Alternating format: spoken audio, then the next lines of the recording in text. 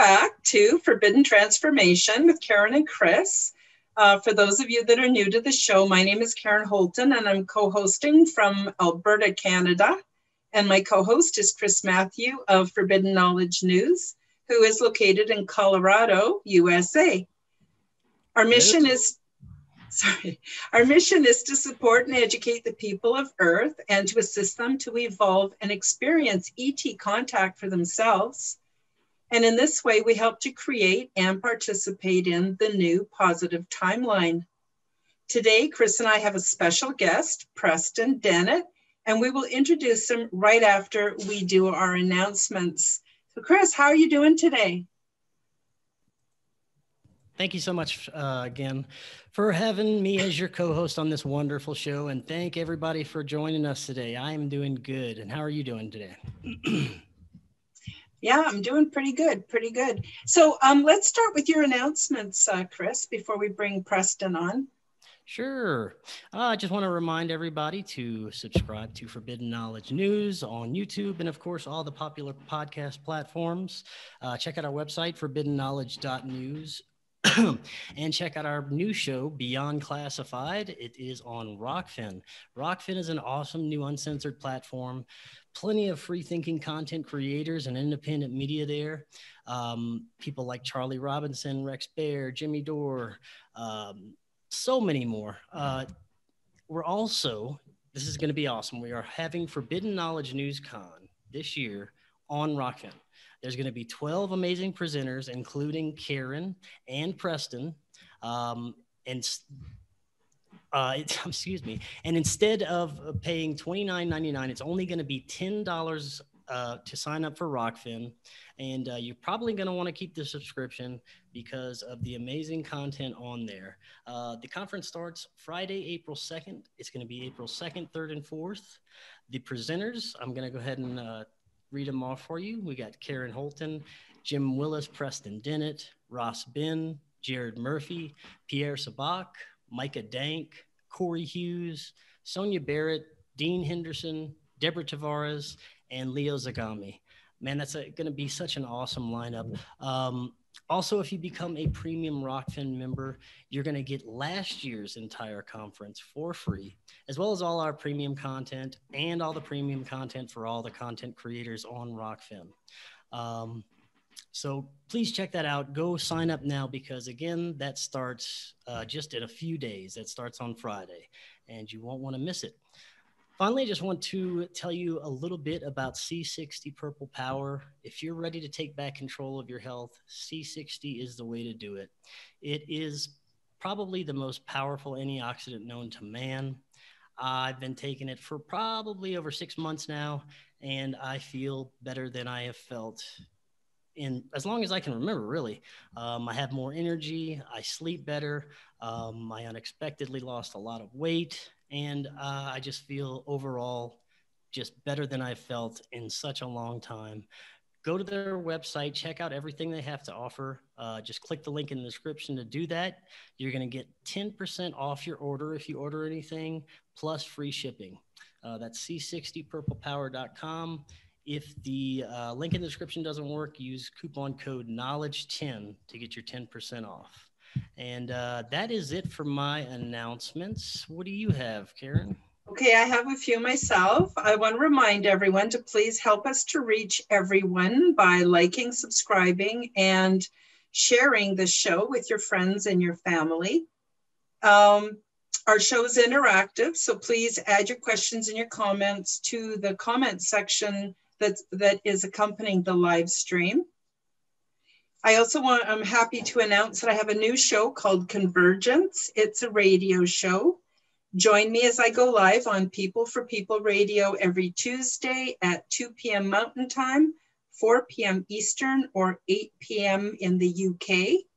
And you can find me at www.peopleforpeople.ning.com. And I've also now have a backup channel on Odysee. and so to find my uncensored content, follow me at odysee.com forward slash at Karen Holton TV. And just a reminder to book from my website a private session called Intuitive Time with Karen and Chris. Whether you have experienced the paranormal or simply want to spend some time talking to Chris and I, this is your chance. And I also offer one on one ET contact support and spiritual support for the many people who have had contact with beings that are not from this world. Or if you would like to experience contact with the higher realms and create your own inner spiritual spaces, I can assist. And if you use coupon code knowledge 10, you'll receive 10% off each of these three services. You can also support our work by purchasing one of my beautiful Zen Domes. Oops, I got a sticky note stuck to it. One of my beautiful Zen Domes orgone generators and um, they are only available from my website. And because of the current conditions, we're actually not in a position to make more. So if that's something you're interested in, I recommend visiting my website and take and taking a look at the selection of what I have left.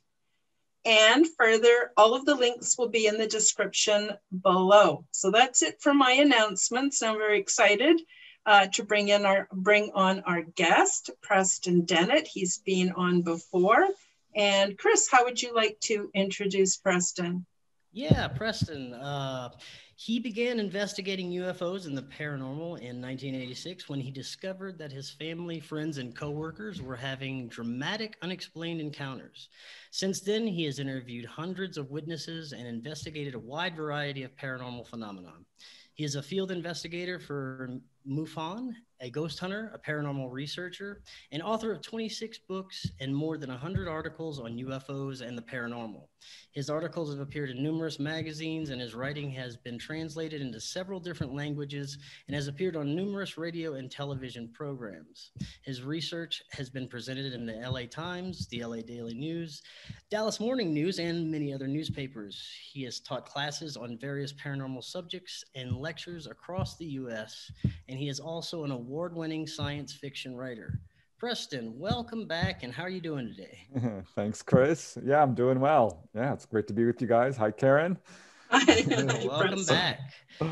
I am really looking forward to the the conference upcoming this week. I know you both have some amazing stuff to present, and uh, I thought we could actually get a little teaser of that today.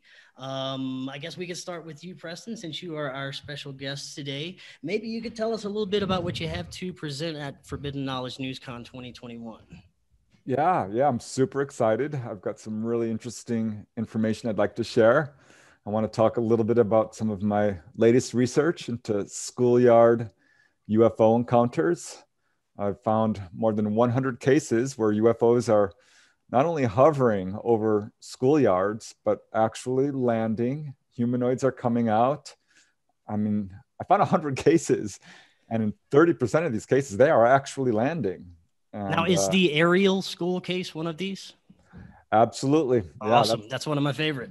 That's one of the cases that really got me looking into this phenomena. And I thought it was sort of a one off, unique. But nope, nope, it's not. There are cases absolutely just like that one that are not well known.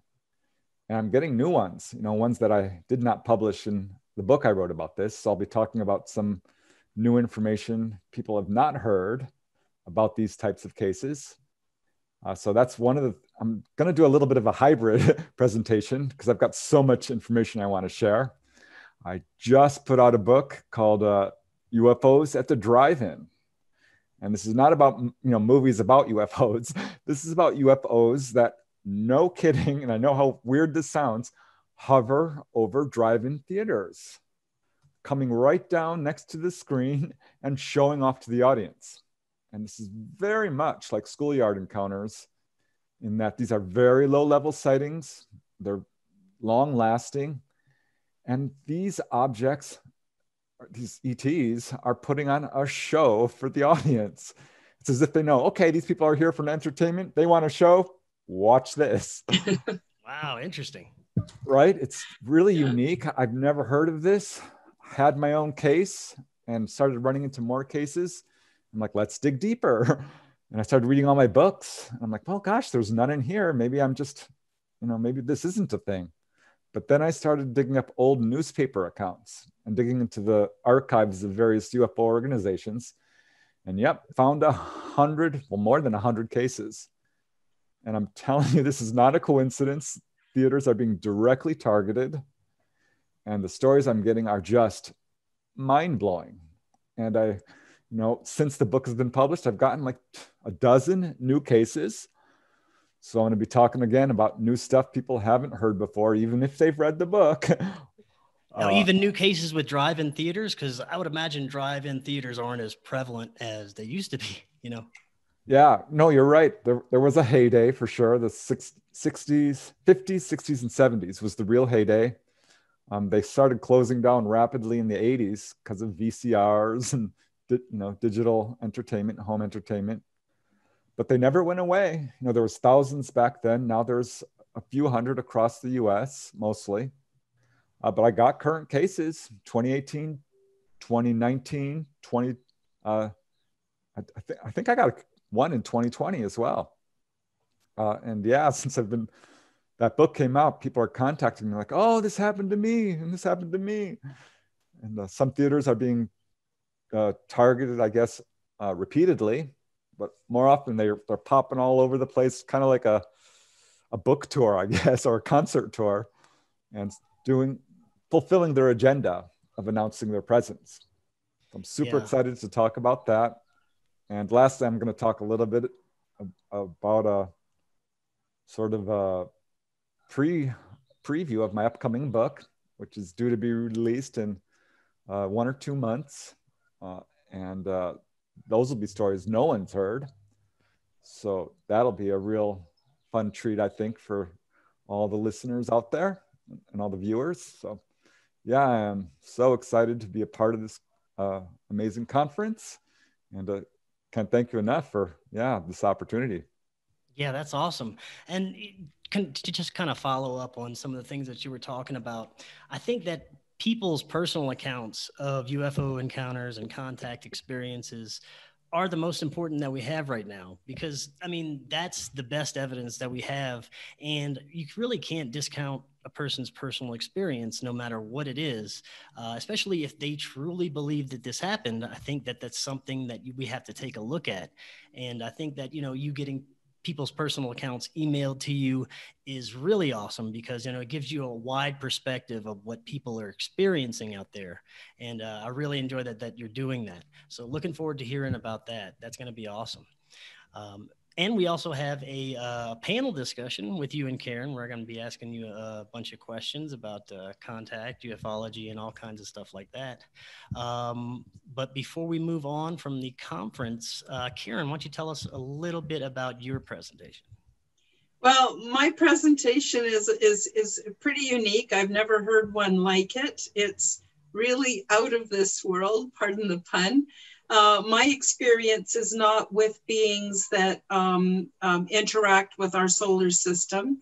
This is, uh, for some reason, I go to an intergalactic environment, and things are very different there than here.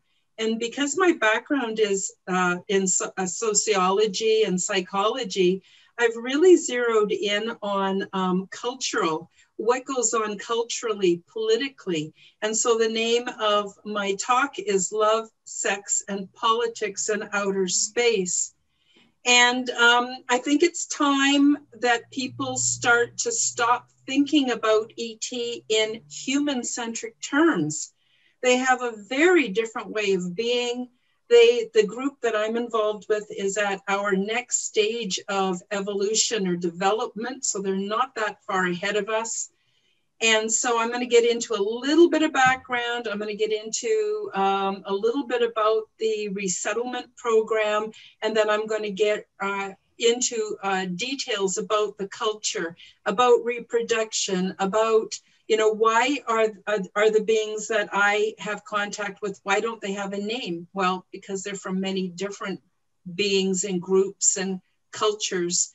And so um, it's a very love-based community. So i'm really looking forward to sharing this information. It's never been heard anywhere before. I've never done any videos or anything about the more intimate aspects of, of, of being with et and aboard the big ships. I'm really, really looking forward to, to the presentation. And I also am very thrilled that I was invited to speak at Forbidden Knowledge NewsCon 2021. It's just, a, it's really a thrilling event for me. Thank you.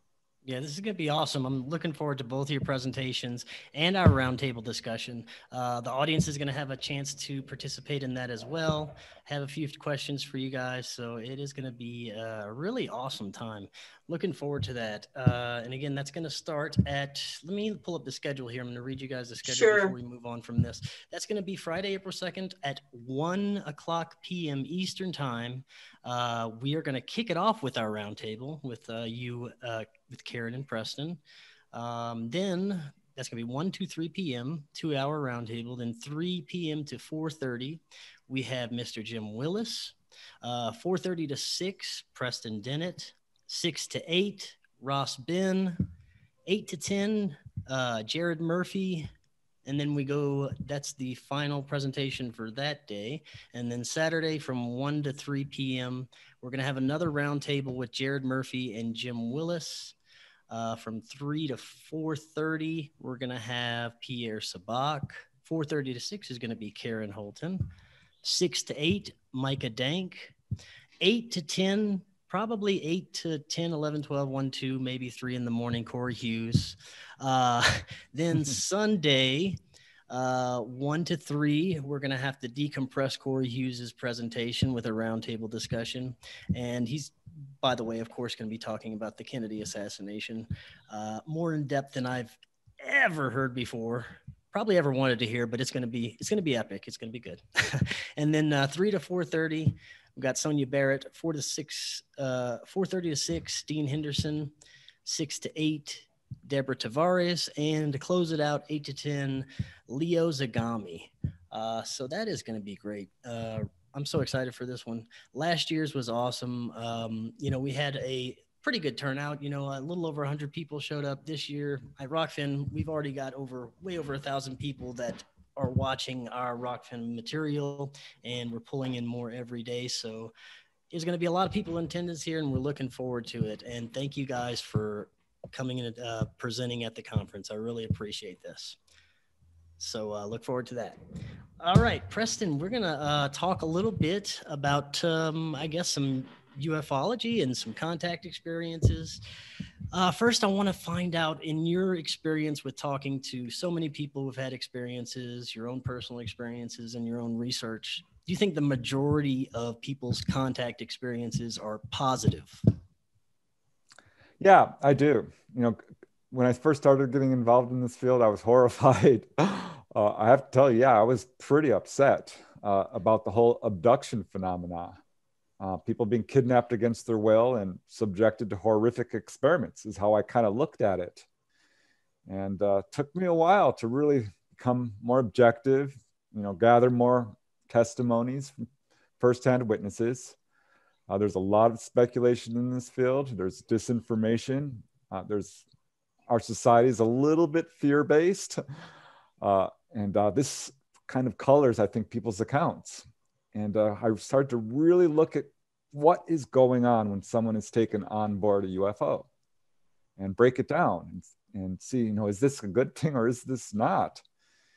And uh, yeah, I've kind of come to the conclusion that this is actually great news for all of us. This is a really wonderful experience for most people and uh, yeah, you know, I still have a little bit of trouble people being kidnapped off a lonely road late at night. I mean, it's that's hard to you know rationalize that that is being a good experience. But when someone is taken on board, certainly the most common experience is people are physically examined. And no one really likes going to the doctor, even though we know it's good for us. Uh, and what I found is that there are an enormous number of healing uh, accounts. I've documented, that was actually my first book, UFO Healings. And I put out a new volume. Uh, originally, I found 100 cases. I've now since found more than 300. And that is absolutely one of the ET's primary agendas the healing of humanity. And I have found cases of people healed of you name it colds to cancer, uh, minor conditions, cuts, bruises, broken bones, stomach aches, back aches, uh, but serious conditions as well. Uh, I, I, mean, uh, heart condition, liver disease, kidney stones, uh, very serious diseases like diphtheria and tuberculosis and diabetes. And uh, the list goes on and on 30 plus cases of people healed of cancer. Um, right on down the line, every part of the body, um, the ETs have cured people, chronic conditions, the whole deal. So that's very encouraging. I thought, okay, that's what they're doing here in a lot of these cases. It's not just collecting genetic material and experimenting. No, they are practicing medicine. And if you look at these ET accounts in an objective fashion, yeah, there's a very strong medical theme that runs through them. UFOs are, in a sense, like floating hospitals. Only real difference is no insurance required. and uh, yeah, it's really, I sort of like, wow, this is amazing. And people do have a lot of fear, but people who have having extensive encounters often move past that and they're not paralyzed when, when they're on board. They're given free rein. They can walk around. And when people get messages, when they're able to, you know, have the peace of mind to actually converse with these ETs, and this is true for whether it's grays or praying mantis, mantids, or human looking, or just strange, strange humanoids, uh, they're given very encouraging messages. Uh, probably number one would be warnings of nuclear proliferation, warnings about pollution, warnings about our warlike ways, something along these lines. They're very concerned about us. They're very concerned about how we're treating our planet. So that's really good news. And I think speaks towards why are these guys here? Why are they contacting us? And moving along those lines, it's also very common for people to be taken to the engine room or the control center. Uh, and they are taught how these craft fly, literally in great detail in some cases, uh, particularly if a person is you know, educated enough to understand it. They will provide you with detailed plans on even how to build a free energy motor. A number of contactees are working very hard along these lines. They will sit you in the chair and teach you how to fly the craft, actually let you fly it. Not uncommon. You know, my book, Onboard UFO Encounters, I think that happened to four or five of the witnesses. So that's really cool. I mean, that's amazing. Yeah, and, that is cool. Right? And so I'm like, wow, you know, this this is really good news for us. And another thing that I found, and this is a very strong theme, uh, there's there's a really strong spiritual component to UFO encounters. Uh, yeah, it's the, this is a nuts and bolts phenomena. People are being physically taken. Uh, this is not you know a psychological projection uh, by any means, uh, and people are being coming coming back from their encounters spiritually transformed. They are taught a very wide variety of spiritual wisdom. So by that I mean people are taught healing, hands on healing, Reiki, that's very prominent among contactees, uh, as well as astral travel, out of body experiences, channeling, psychic readings, uh, past lives, all these really amazing spiritual things are teaching us and waking us up to our own superhuman potentials. I mean, we do have the ability to levitate. Can't tell you how many contactees I've talked to. Like, oh yeah, I did have a levitation episode. I'm like, seriously, you physically levitated? Yes, I wrote a book about this, human levitation. We do have the ability to fly. And I didn't think it was really related to UFOs until I started getting all these accounts. I mean, it happened to Whitley Strieber. He levitated. Uh, it happened to that doctor in France who was healed of an axe wound on his foot and partial paralysis. It's a very famous case from Jacques Vallée. He had two levitation episodes. So my point is ETs are teaching us what we can do and it's amazing. Yeah, the spiritual aspect, I think, is one of the hardest things to get across to people, especially people with religious dogma. Uh, I had very frustrating conversations the past couple of days with um, some pretty, you know, devout. I think uh, one was a Catholic, one was Christian or something. And I, I was talking to them about the spiritual aspect of some of these ET contact experiences and even my own. Uh, and they couldn't handle it. And they got very angry at the conversation. And I had to end it because, you know, just like, it's not worth getting angry over, you know. But uh, I find that that's really that's one of the hardest aspects to get across to people. Um, is that something you you think you'd agree with? Yeah, yeah. I have been on some shows where with you know fundamentalist Christians uh, who believe wholeheartedly that this is a demonic phenomenon. Oh, and oh, yeah. I'm like, I'm like, mm, no, it's not, uh, because you know I don't just research UFOs uh, early on, I'm like, wow, you know, you saw ghosts too. You've had a near death experience. You know, the, and people have a wide variety of paranormal experiences. This is pretty much the norm for a contactee because they are blown wide open. They are um, not only seeing UFOs, they are experiencing a lot of stuff coming at them at once. And uh, there are bad ghosts, there are bad spirits. I bought all the books on demonology. I did my own investigations into what I would call horrific hauntings where people were, you know, brought all the way to possession. And I can say pretty much, I mean, the evidence for de- bad spirits and demons is pretty compelling, and for angels for that matter. But it's a different phenomenon. It follows a very set pattern, as does, you know, a UFO experience. It follows a basic series of events. And a demonic haunting does as well. Uh, it's a separate phenomena. A demonic haunting is really an attempt on the spirits to destroy that person and make their life very difficult. And, uh, you know, like by their fruits you shall know them. Mm-hmm. Uh, and when someone comes away from a UFO experience, uh, boy, oh boy, they are transformed positively. And yes, it can be very scary, especially in the beginning and it challenges religious beliefs. And I think those are the people who are going to have a, a hard time with this. I know for myself, when I got into UFOs, I was very skeptical. Um, I wasn't religious, but I had my belief system. I was pretty much a materialist. And it shattered my worldview. And I was not a happy camper. I was very upset. I was scandalized. And uh, so I, I, I kind of get where they're coming from but I think it's very important to be objective. It's very important to be adaptable. Uh, you don't want to lock into any belief system because we are evolving. There's always room for improvement. There's always things to learn. And I think we have to realize that uh, we can't be too anthropocentric. You know, we aren't the center of the universe. Mm-hmm. Just look at the stars. I mean, for for goodness sake, just look out there and you can it's pretty clear we're not alone. And every major scientist agrees with that. There's just no way. Uh, so yeah, we're right on the verge of being welcomed into this wonderful galactic community. And yeah, we live in exciting times. There's a lot going on right now. Oh yeah, yeah. So I'm very encouraged about how this is all rolling out.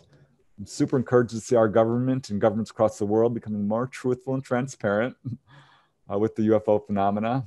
And I think as soon as disclosure really rolls out, that's when we're going to see open official contact. It's coming. Boy, it might come this year or might, I feel it coming. Yeah, I, I feel something coming. Um, I, you know, I don't know if I, I trust the gov- what the government's saying, but it is, you know, it's encouraging, uh, you know, to some degree. Uh, and, and I look forward to see what's, what's going to come of it. Um, Karen, do you have any questions or comments about uh, what we were just talking about before we move on? Yeah, I kind of wanted to get Preston's take on this. What I have noticed from the beings that I have had experiences with is that there's a term that we use here on earth called Christ consciousness, which basically, instead of worshiping a separate being that's the Christ, we become more like the Christ. And in the beings that I've had experiences with, they very much are more like my understanding of what the Christ would actually be like than many of the people who profess to be Christians here on earth. So, in my thinking, if you're a Christian, that's a wonderful thing, but um, there should be, at least in my opinion, uh, some reflection of Christ in that person.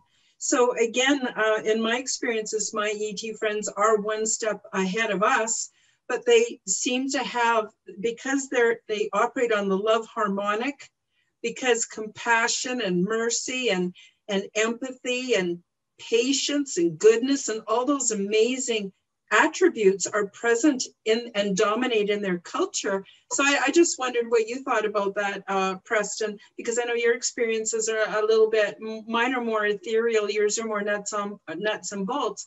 But I wondered if you had any thoughts on that. Yeah, yeah, I think this is, I think you're right on the money there.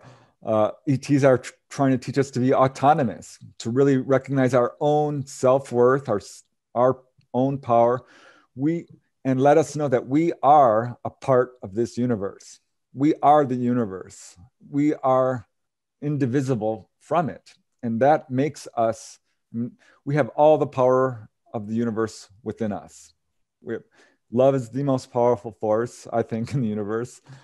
And uh, I think this is one of the main messages that we have to really start developing our own power, raising our consciousness. It's all about consciousness.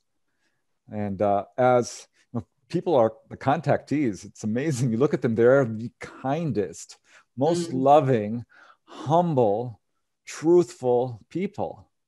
And uh, I'm like looking at people like, why is this person having contact? You know, why not this person? Who's having contact and why?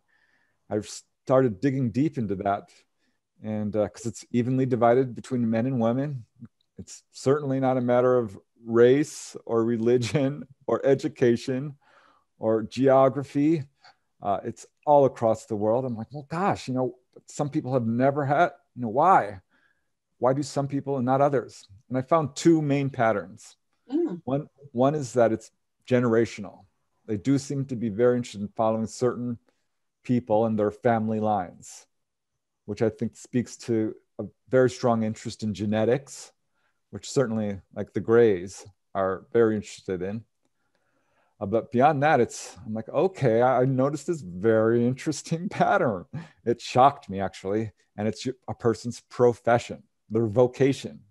Mm. It's what what they are doing on Earth, and the people who are having contact. There's a really high number of people who are doing good work for humanity in some capacity. And by that, I would say it's doctors, it is teachers, it's social rights activists, it's human rights activists, it is inventors, it is writers, artists, entertainers, musicians. All these musicians are coming out of the woodwork right now. Miley Cyrus, Demi Lovato, you know, of course, John Lennon is uh, a really good example because musicians have a, a, very strong platform. Uh, they're very creative. They can reach a lot of people. They're extremely influential. And this, I think, again, shows who these ETs are. They are picking people who are trying to help everyone and raise us up to that Christ consciousness, raise us up to the golden rule, raise us up to the knowledge that we are all one. We are so integrally connected. And uh, when people, you know, have encounters, they start, you know, for me, as soon as I started investigating UFOs, I started having out of body experiences uh, and very strongly. And I never really made the connection that these two were integrally connected. But I think they are because when I come back from an out of body experience, I'm like, wow, I am so empathetic and so connected to people. And you start having telepathy and clairvoyance and just feel this wonderful connection to all humanity, which again is, I think, is the real purpose of religion, which has been a little bit lost, I think, in uh, some of the more fundamentalist or rigid religious thinking. People have to start thinking for themselves and uh, I, you know, I love people. I would certainly never want to pull someone away from their religion. You know, if that's because that's a very much a core belief, and I think that's why UFOs are so threatening to some people. It's like politics. It's like sex. It's like religion. It's a core belief that really uh, sort of defines your worldview and your place in the universe. And I think we're moving towards a whole new worldview. And uh, you can absolutely embrace the subject and keep your religion. uh, there's no problem with that. I just think people need to be loving. As long as people guide their every decision with love, knowledge, and truth and compassion, we're going to be fine. We're going to be just fine. Uh, yeah. So, you know what I mean? Very well said. Yeah, I think uh, I think that is the key because uh, that is actually the message that I was given during my contact experience. So uh, I think that's right on the money. Um, anything, any other comments or questions, Karen, before we move on? Um, no, but I was wondering if there is anything um, um interesting in the chat.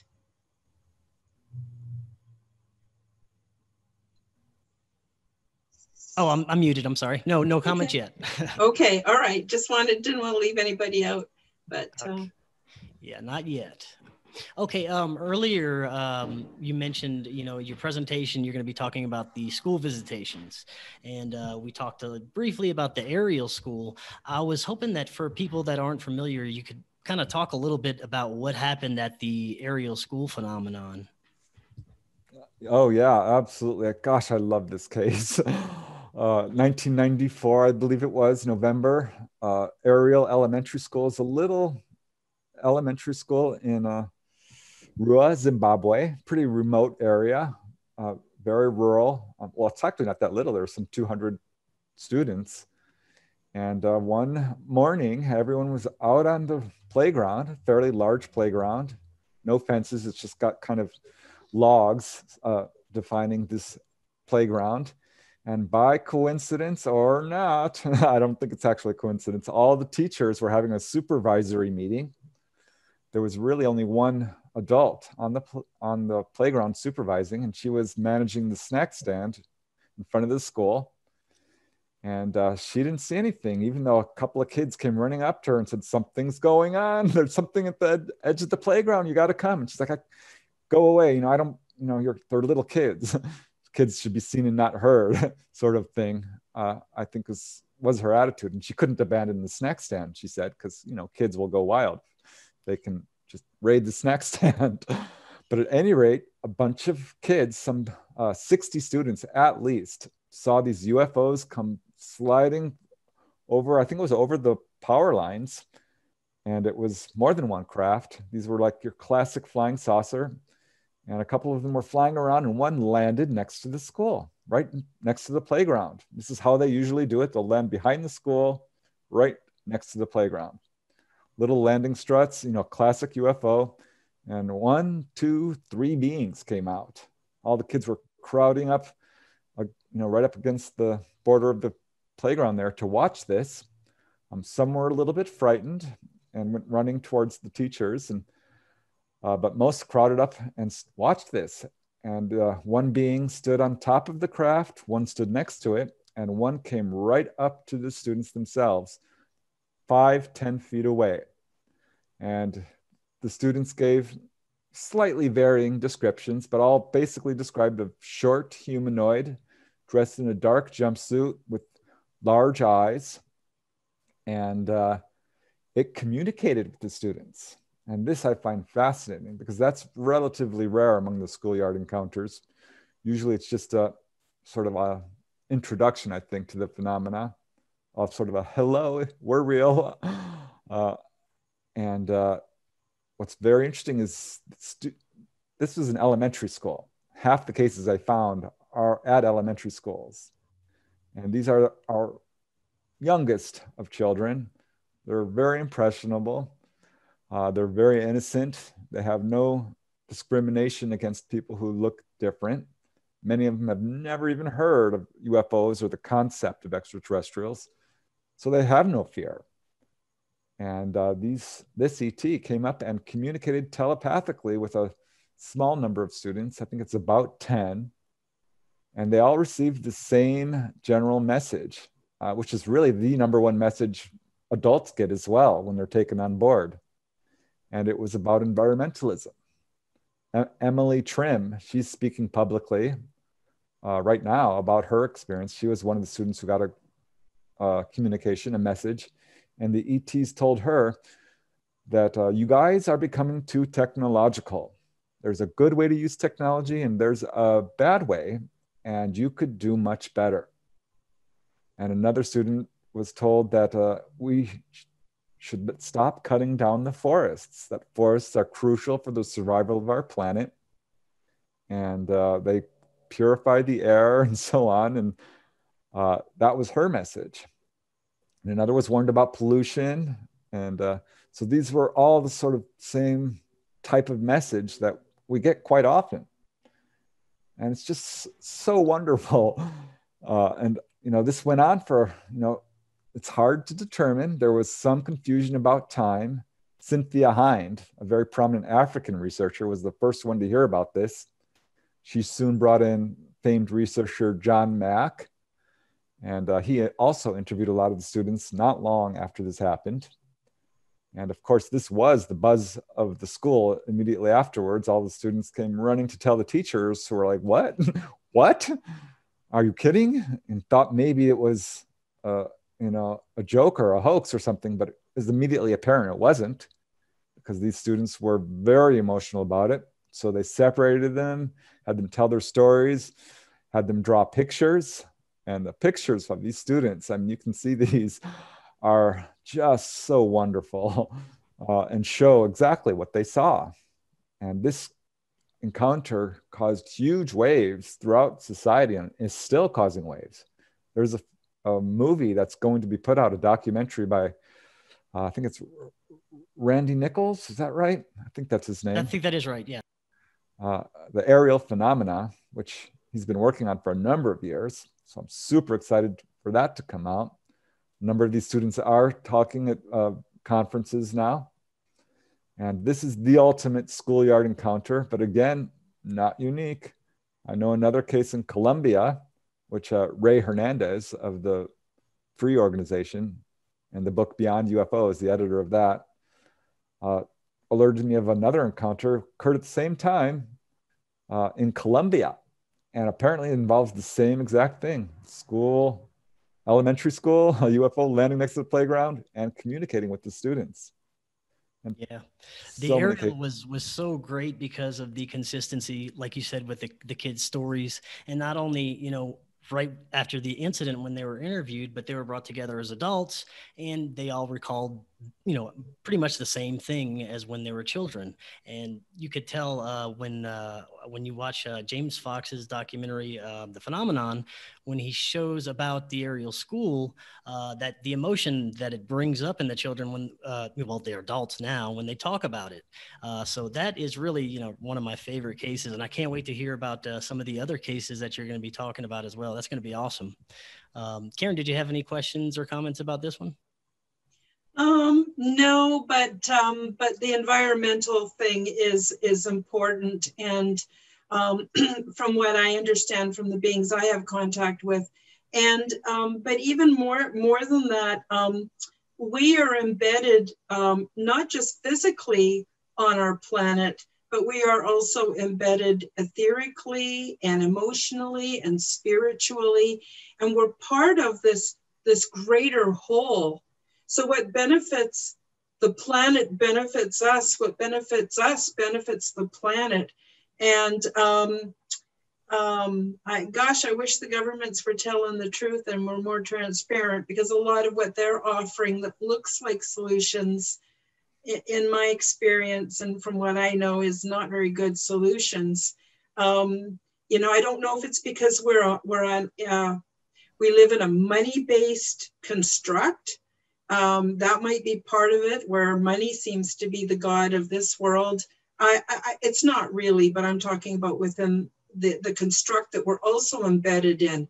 So I think I think dissolving of that construct can do nothing but good as we start to wake up and go, no, I'm not believing that anymore, and getting rid of dogma and um, getting rid of archaic belief systems, which it is astounds me how many, even thousands of years that the basic um, monarchy systems and feudal systems and all of this just seem to persist and persist and persist.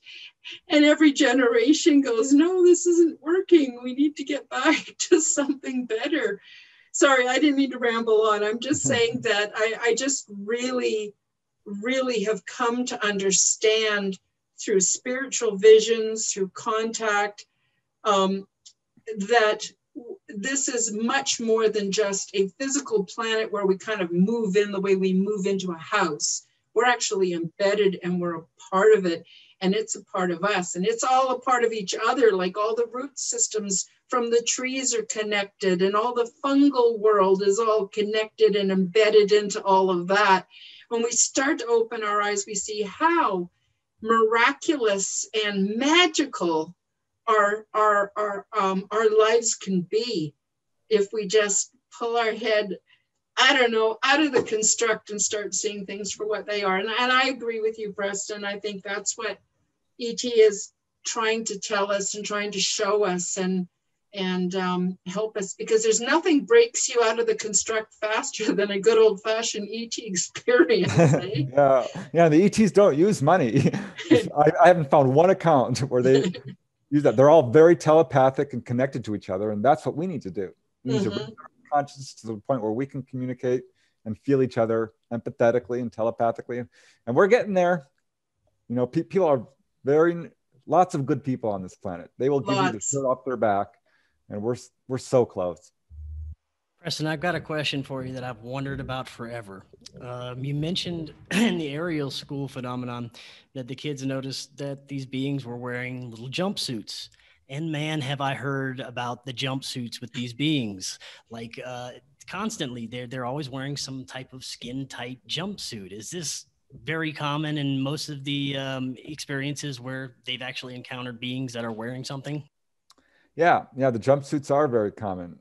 And, uh, it can be a silver jumpsuit or usually not though. It's usually like so skin tight. People are like, well, gosh, are they even wearing anything? And uh, this is definitely a question of mine. I think in some cases they aren't. They're not wearing anything, particularly when someone's taken on board. Uh, they don't. ETs don't have you know modesty. Uh, they're not afraid of walking around nude. I, I think in front of each other. And uh, yeah, I do have a lot of questions about that. This is a research project I want to do. I've been talking about this with another researcher about alien clothes and alien fashions uh, because often they will wear um, gowns or sort of cl- cloaks or different types of uh, clothes. Um, and in fact, going along those lines, there are a number of cases where people have seen ETs wearing, and this is not even a joke, a uh, pinstripe suit. They will come dressed up in earth clothes. Uh, and I think it's sort of a device to sort of reduce the fear factor, which works in some cases, doesn't work in others.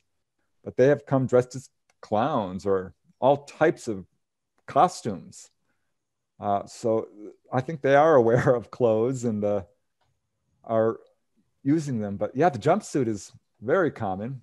And I think it's probably protective for the most part because uh, this isn't their planet. This, you know, I think they do come from other planets. I'm a big believer that these are people like us, in fact, more alike us than different. And uh, yeah, the jumpsuit is super common. And uh, to my understanding, our government does have some of these jumpsuits. Uh, Jim and Coral Lorenzen talked about this and what, just gave a little brief snippet in one of their books. That's the first I heard of it. And uh, love to get my hands on one of those things just to oh, see yeah. what it's made of. Definitely. That'd be cool. Uh, I got a couple of questions in the chat. Heavy weights, light feels. Oh, you you pretty much answered this already. Uh, he asked, "How do ETs handle money?" And you said that they don't really, they right? Don't, they don't use it. Yeah, there's no need. They're all very loving and telepathic, and everyone contributes. Everyone is. A, I've been talking to our contactee about this, who's had a very extensive contact, and i'm like well how do they you know how do they organize their society? And uh, you know there's a lot of automation and things that you know might be unpleasant jobs perhaps but everyone is allowed to contribute and explore whatever area of knowledge they want to pursue. There's no sexism there's no discrimination.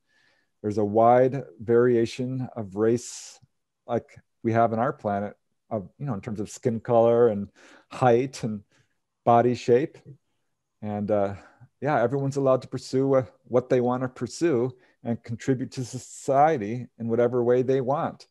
It's all about pursuit of knowledge and truth and exploration. Uh, it's a really wonderful concept. I think once we come to the realization that if you hurt someone else, you're truly hurting yourself. Mm-hmm. Uh, it'll be a lot easier for us. Uh, yeah, money, boy, I understand why we needed it, uh, but right now our planet has such an unequal distribution of wealth. There's a lot of you know divisiveness, which is kind of an illusion, because if you actually talk to people, uh, they all want the same things. You know, I'm all my my friends have are spread out. They're both you know Republicans and Democrats. I mean, they are you know some are religious, some aren't, and uh, that doesn't mean anything to me. I love you. It doesn't. It's wonderful that people have variation in their beliefs and their backgrounds. That is a really good thing, and it's not something to fear. It's something to celebrate, and uh, that's I think what the ETs do. Yeah, very well said. Uh, I got one more question from the chat. Painting the Sky Kingdom asks, "Are you familiar with the Farsight Institute?" Yes, I am. I'm sure you guys are as well. The uh, remote viewed, of course. They say that some of the messages about how bad we treat the Earth is are related to the ETs making us feel guilty and keeping us enslaved do you think that this is a possibility that some, not all ETs, want to keep us enslaved? It was new concept for me, but their remote viewing is amazing. All right, thank you, Painting the Sky Kingdom. What do you think about that, Preston? Um, yeah, I mean, there is a bell curve of behavior on ETs, which falls under the same umbrella as human behavior. It really does. It's not all puppies and rainbows. Uh, to say that every ET out there is benevolent would be incredibly naive. Uh, there are all kinds of people. And if you look at human behavior, I mean, it can be atrocious, horrendous with the murders and just the awful things people do. And I'm looking at ET behavior. I'm like, okay, let's see if this falls into the same umbrella. And it does. For the most part, ETs are doing, I think, what we would do if we were to visit a planet. And not all encounters are friendly and fun uh, I think some people do have negative encounters. And I think there probably are some negative ETs out there. But for the most part, no. And I have to tell you, I always ask people, you know, do you think the ETs are evil? And almost nobody will say that. The very worst I get is people are treated like a lab rat. They can have very painful experiences. And the ETs seem to show no compassion. Don't get a whole lot of that. But what I get almost nothing of is what I would call overt sadism, overt torture, um, that sort of thing. And I have to say, like when someone's say kidnapped here on Earth, it doesn't end well. It rarely ends well. Mm. Uh, where someone is taken, and I'll put that in quotes, against their will, because the ETs will contact people and they speak to the whole self. They speak to your superconscious. They speak to your subconscious. They speak to your entire being. And on some level, people are giving permission to, uh, for contact, even if they don't think they are. And I know this is kind of a cop out for a lot of people like, hey, no, I didn't give permission. And if you're not giving conscious permission, you do have the power to end your contact. People have done this successfully uh, through just very strong willpower. Like, no, I do not accept this. If I made a soul contract, I am dissolving it. Um, that is possible to do. But on some level, I think that people do give permission. And often people are so in denial that it takes a really sort of traumatic incident to wake them up to who they are and the fact they are having contact. They are part of this universe. Uh, so, yeah, they're, it's not, I have to agree with that because every time I put out a you know a book or a video or something like this is a really benevolent, lovely, wonderful experience. Someone says, "Well, this happened to me, and I'm not happy about it," and my heart breaks because uh, they do have you know post-traumatic stress disorder. Um, some people's their health does suffer, but overall, no. I feel like most people's encounters are benevolent and I'm leaning definitely in that direction. But yeah, I'm not naive enough. I'm not, I mean, I'm not so naive to say that these are all our space brothers and let's welcome them with open arms. You have to use discernment. And for that matter, look at what's going on on our planet. There's an evil force in this planet. There's no doubt that there's you know oppression of goodness and there's corruption and there's hatred. And I'm really glad to see that all this is coming into the light and people are recognizing like where wow there is corruption. Let's deal with this. And that's i think why we're having a little bit of a hard time now because it's the light is being shined on the people who are doing following the wrong path. Uh, people who are on my naughty list the banking industry the right. you know, the insurance industry the oh they know who they are. Uh, and it i think this is their last hurrah. Um, our vibrations are raising quickly, and uh, there's going to be a shakeup. If our government is this is sort of what's forcing, I think, the disclosure movement, uh, because government is losing their power. We're going to be self-governing. It's coming. Yeah, the the awakening going on right now is the most encouraging thing for me personally, definitely, uh, and I hope it continues. I hope people keep you know questioning the narrative and waking up. Um, Karen, you got any final comments or questions for Preston today? Um, well, just I to- I totally agree with you, Preston. I think there's good and bad in every crowd, and I don't think we can white uh, um, broad paint or paint with broad strokes what this specific ET group is about or that one. Um, you know, they're they're they're even from one specific race, group. You know, there could be um, mostly good people and some not so good people.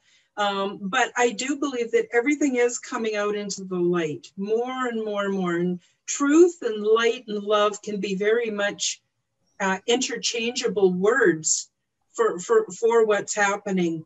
And the other thing, too, is the reason the majority, in my opinion, the reason that the majority of our, um, our um, galaxy or even intergalactic area is based on the love harmonic is because it works. Within peace and knowledge and truth, we can accomplish anything. And the quickest way to shut that down is with ignorance, lack of tr- transparency, greed, you know, all those kind of things. So um, I wanted to say too that I don't discount anybody's experience. I validate every experience, regardless of it being what we would call positive or negative. But I do believe that the love harmonic will win out ultimately because it's the only thing that works. It is a creative environment where anything is possible. And so I'm very excited to have more contact and to tell people uh, more about my experiences and, and hear about your experiences. And the more I learn, the more I realize our, our experiences are not that different, you know? And so isn't that cool? So we're kind of forming a, a community within community as well. So anyway, I'm just thrilled to bits uh, to be able to have platforms where I can be honest about my experiences and then you know we can talk to other people that have different experiences and there's there's no conflict. There, it's just so beautiful. It's like a big family. Anyway I, I'm, I just really appreciate both of you and and the courage it takes to come out and tell uh, people because um, you know sometimes people freak out a little bit when they hear about this stuff. It's not they're not quite there yet but they're getting there i hope. Yeah so i'm sorry i didn't really have a question. I'm just kind of in my my two cents worth Very good. Yeah, Preston, thank you so much for coming on today. That was uh, fantastic information. And man, the conference is going to be awesome. We're so looking forward to that. Um, Karen, any closing announcements or remarks? Yeah, but before I do, I also want to thank yeah. you, Preston, uh, for joining us. And uh, it's just always a thrill to have you on any show that I'm on that you're on. It's great. And I love watching your stuff. So, folks, if you haven't visited um, Preston's website, the link will be in the description of the replay. And please do check out his website and all his books. And he's got so much uh, amazing, amazing content. And I also want to thank you, Chris, for uh, being here and helping uh, produce this show because it's I think it's an important one. You know, we're speaking to opening minds, which what better work could we be doing? So yeah, I've got just a couple things. I want to remind people to check out the consultation and support services that Chris and I both offer from my website. And that's www.karenholtonhealthcoach.com. And we now have a Forbidden Transformation Facebook group that offers private peer to peer support. So let us know if you'd like to join and if you would like to moderate, that would be great. And thank you for your emails. You can email uh, Chris or myself at forbiddentransformation at gmail.com. And I always do my best to get back to everybody. And again, please, please join us on Rokfin for access to the upcoming Forbidden Knowledge News Conference, April 2nd, 3rd, and 4th, 2021. That's just next weekend, starting on Friday. And again, it's only $10 for the whole month There'll be 12 presenters, including Preston and myself. We're really super looking forward to it. Now, I normally announce our next show. I just want people to know that I actually will be taking a few weeks off of the Forbidden Transformation show. Uh, we will be back. I've got some things in my life that I have to take care of, including a major move and some other things. I'm feeling a little bit overwhelmed right now, so we're just I'm just going to take a few weeks off to um, get my my life all sorted out and then we'll be back so we'll be letting you know when the next show is i'm not sure at this point so that's about all i have to say. And again thank you both for being here. And thank you to all the viewers. We very much appreciate your comments and spending this time with us. So i'll just say much love light and laughter and mm-hmm. happiness from all of us to all of you. Bye bye yeah, now thank you guys. Have a good one. Thank you